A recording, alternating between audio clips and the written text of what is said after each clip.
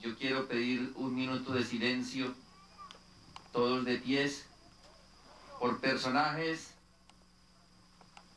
que aquí entregaron su vida y sus sueños. Por todos ellos, guardemos aquí su memoria por un momento. Llegar a este punto después de 20 años no es cualquier cosa. Aquí hay personas que están, estuvieron organizando este evento, que cuando llegaron aquí apenas estaban gateando. Y hay otras personas de las que están escuchando y que ya trabajan y luchan por esta empresa que no habían nacido. 20 años son 20 años. Es mucho el agua que corre bajo los puentes. Cuando entramos a este lugar, entramos soñando en cosas bellas, ilusionados. Aquí llegamos una tarde del 13 de noviembre de 1973, llenos de ilusiones, pensando en que aquí íbamos a fundar dos cosas muy bellas. Una, una comunidad ejemplar de hermanos, tan hermanos que cuando hablábamos de esa fraternidad nos confundían con el comunismo. Poder ver en el video a personas que hoy no están con nosotros, pero que compartieron tantas cosas, que dieron tanto de ellas y de verdad que se siente nostalgia. Muy distinta la cosa. Y es como un ejemplo, un misterio, ver los vivos y ver los muertos.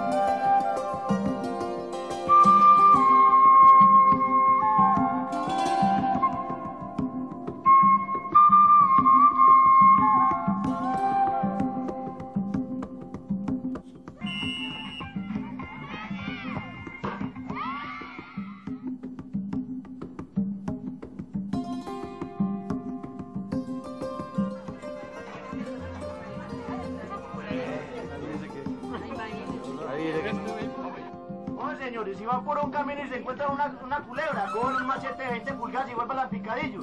No, señores, que están una fortuna. La comunidad La Arboleda nació del trabajo parroquial iniciado en Puerto Rico en 1970. Monseñor Augusto Trujillo Arango, obispo de Jericó, decretó en aquel entonces llevar a cabo un experimento parroquial para poner en práctica la doctrina del Concilio Vaticano II, plasmada en los llamados documentos de Medellín y conocidos con el nombre de CELAM, Conferencia Episcopal Latinoamericana Medellín.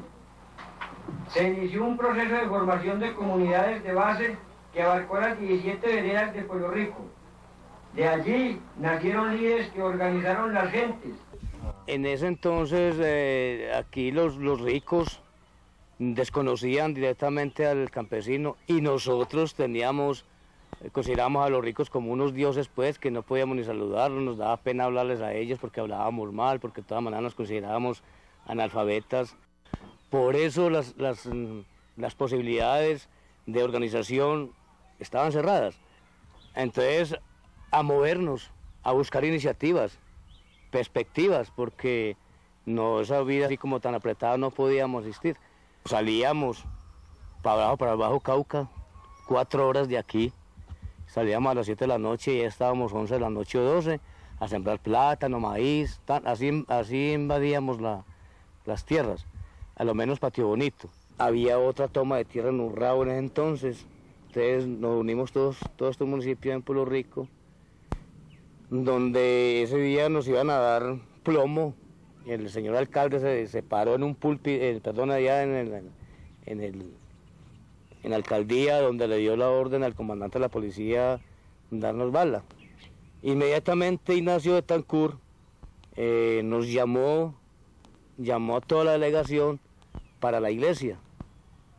Entonces ahí fue donde nos metimos a la iglesia, donde la policía solamente llegó hasta el atrio, respetaron, respetaron el templo y por ahí nos pudimos salir.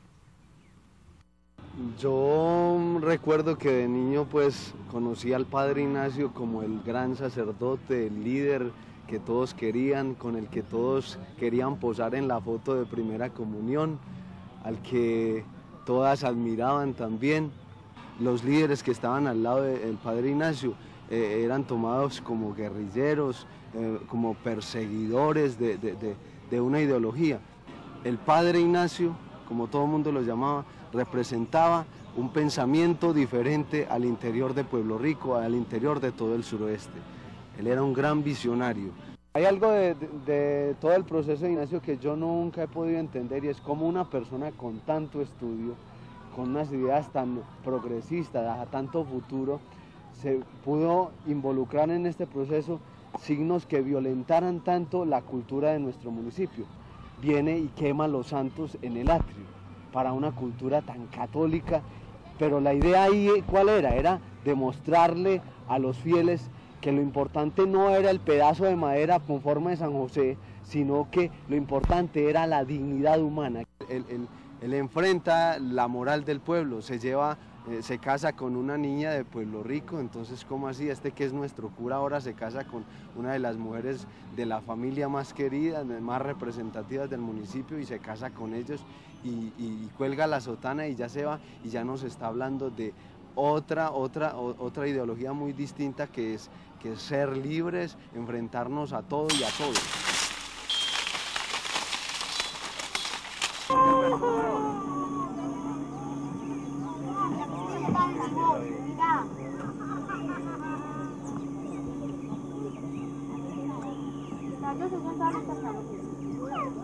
Yo vine de la Gómez.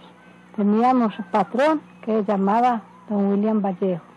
Y ya él, a lo que ya se dio cuenta de que estábamos formando reunioncitas por ahí, ya, ya él ya no, no estaba contento, no. Entonces ya nos fue quitando el trabajo, fue quitando el trabajo, ya vi que... Y entonces ya nosotros de ver la situación en que estábamos allá, ya el padre Ignacio nos ayudó, nos para que nos viniéramos para acá, para esta finca, y aquí llegamos a comunidad. Para 1973 se había creado un conflicto entre patrones y trabajadores porque se quería reclamar los, los derechos laborales, ¿sí? Entonces, debido como a ese problema que se creó, eh, nació la idea entonces de, de- del, del padre Ignacio de crear entonces como una comunidad. Se empezó un proceso comunitario, totalmente comunitario, donde todo era comunitario, la tierra era comunitaria, los animales comunitarios, todos los bienes sociales comunitarios.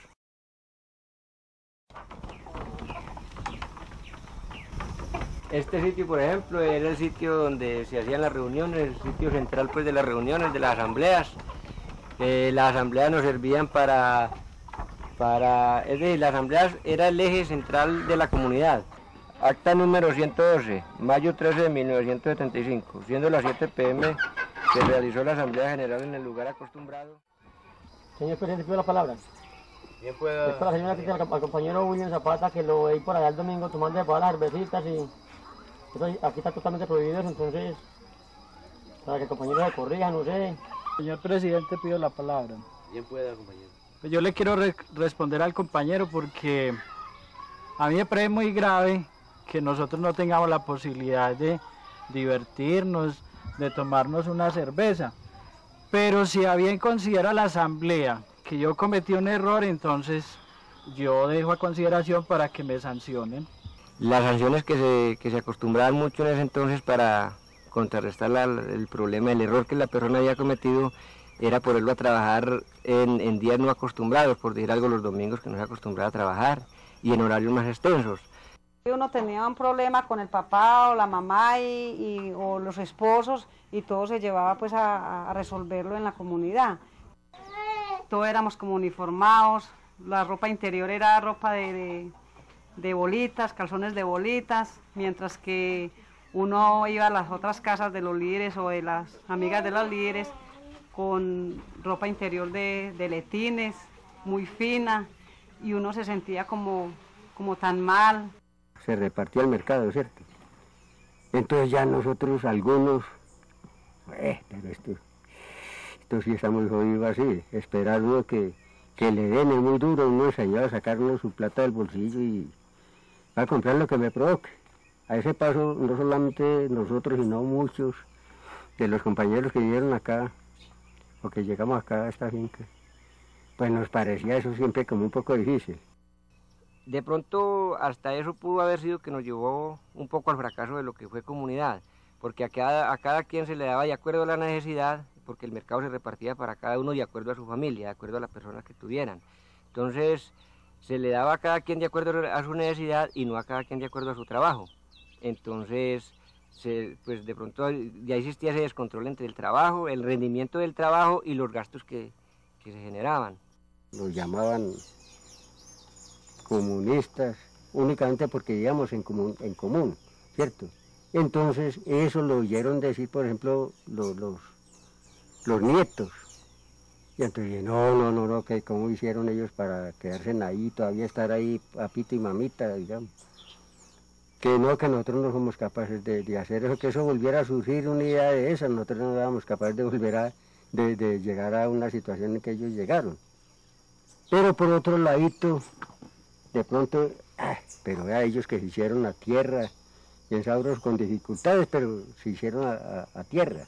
Eso lo admiraban mucho y venían a ver, de- repetían, esto es como un remiendo nuevo en un pantalón viejo.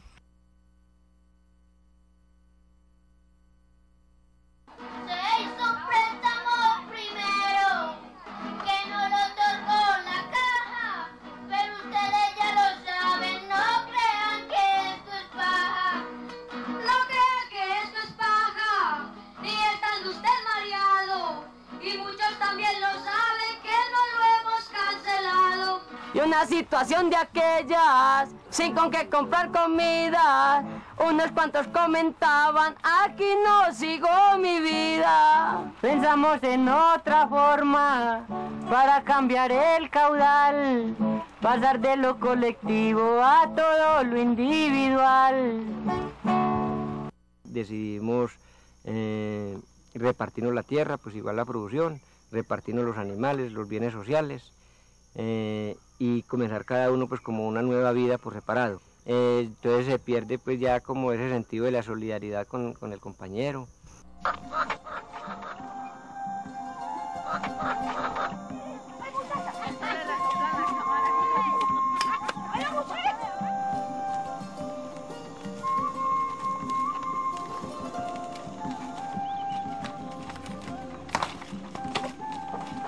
Pasamos a otra etapa, combinar el trabajo individual con lo colectivo.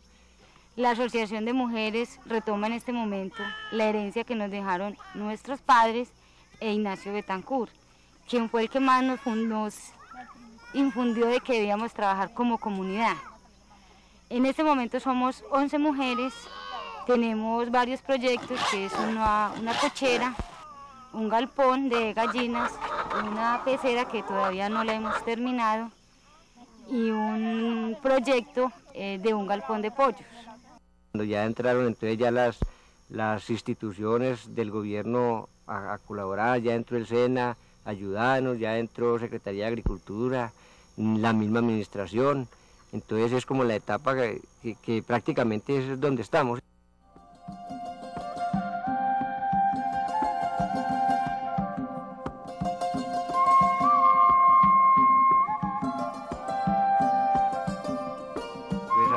Creo, considero yo que, que fue importante es la propiedad que logramos adquirir, ¿sí? Y ya en el, ya en el ámbito social, pues eh, de pronto el, el- el- aprendizaje que nosotros tuvimos para aprender a convivir con los demás, eh, aprender a, a ser más tolerantes, eso me ha parecido a mí que, que nos ha quedado como, como de lo importante pues del proceso. Lo que hoy se está viviendo incluso en nuestro municipio es esa semilla que se sembró desde la arboleda y nosotros como eh, iniciadores del proceso de Asamblea Municipal Constituyente no, nos surge en el año 99, surge en la década del 70 desde esta enseñanza que nos deja la empresa comunitaria La Arboleda y que nos deja muy particularmente Ignacio Betancourt. Se pensaba que la gente tenía que aprender, que lo principal era que la gente se hiciera gente, se hiciera persona. Indudablemente que en eso tuvimos tropiezos y fallas, pero yo digo, esa fue la clave. La gente viene con confianza a la, arboleda, ya esa ola de, estigmatización y de, pensar que la arboleda era, era lo peor se ha disipado por completo. Y eso es lo que nos trae aquí, a hacer remembranza de lo que, cómo empezó ese proceso comunitario en la arboleda. Eso es lo que nos trae el día de hoy.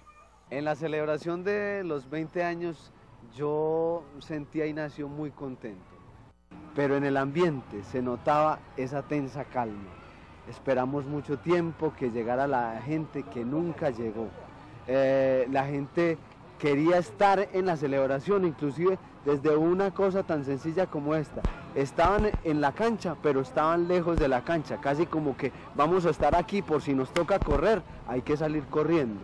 La gente sabía, los comentarios estaban ahí. No, él no vino porque le dio miedo. El hecho de estar aquí parados después de 20 años con esta tierra se debe, a mi manera de ver, al hecho de haber sembrado, de haber cultivado la idea de la comunidad.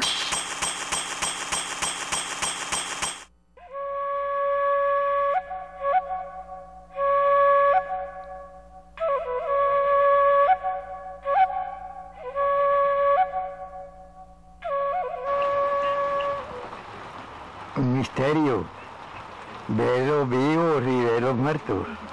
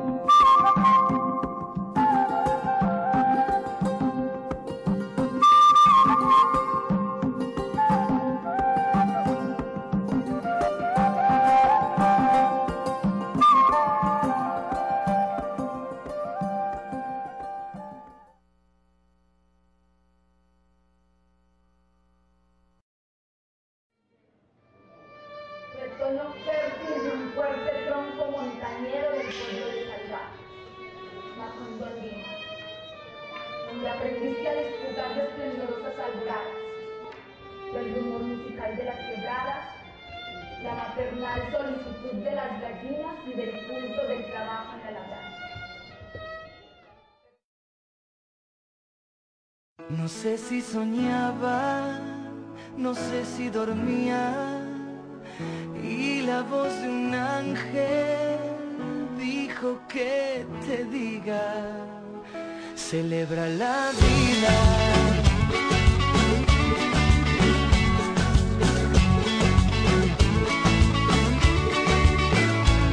Piensa libremente, ayuda a la gente y por lo que quieras lucha y sé paciente.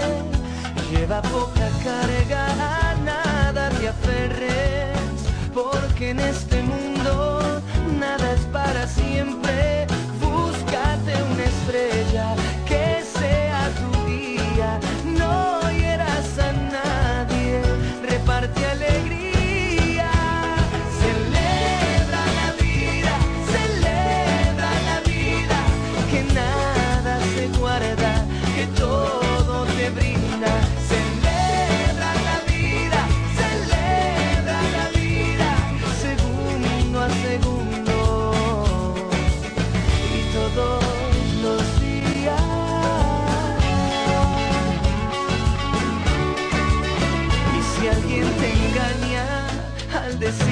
quiero, pon más leña al fuego y empieza de nuevo.